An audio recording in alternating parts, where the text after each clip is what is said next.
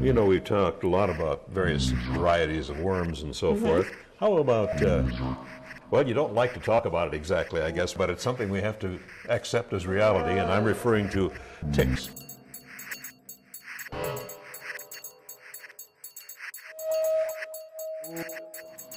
Ticks. Let's talk about them a little bit. Yep, the other worms that fall into the external parasite category, there's several different varieties of ticks out there, but basically it, the ones we see are the great big ticks, the dog tick. Ticks we see lots of in the spring and the fall.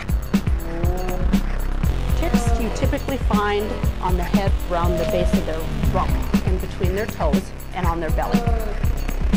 And they will be taking blood meals puppies and kittens can die from ticks.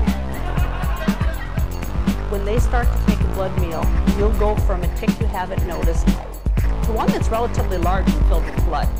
If you leave them alone, they also will fall off. How do we get that out without the head getting stuck in the body? Pull it out. Not to put words in your mouth, Barb, Mm-hmm. but uh, Move it up a little, pull it out very gently.